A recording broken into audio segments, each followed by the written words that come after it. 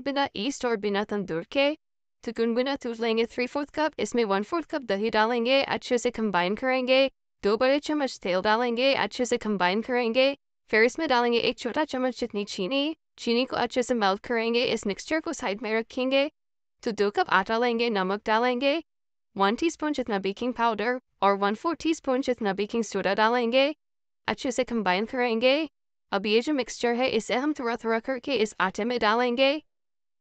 और इसका एक सॉफ्ट आटा तैयार करेंगे। इसे अच्छे से नीट करेंगे एक से दो मिनट के लिए। बिगीले का कपड़े से ढक के रेस्ट करने देंगे एक घंटे के लिए।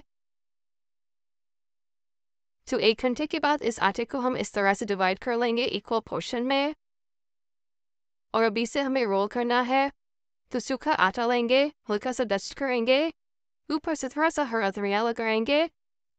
और पीछे की साइड पे पानी लगाएँगे, अब एक लोहे का तवा लेंगे, तवे को एकदम गर्म करेंगे और नान को इस तरह से तवे के ऊपर चिपका देंगे। तो भी नान के ऊपर बबल ज़रा शुरू हो चुका है, तवे को उल्टा करेंगे और इसे रोटेट करते हुए नान को अच्छे से खूब कर लेंगे। आखिर में इसके ऊपर बटर लगाएँगे। तो रेस्टोरेंट स्टाइल एकदम सुपर सॉफ्ट बटर नान बन के तैयार है, बिना ईस्ट और बिना तंदूर के।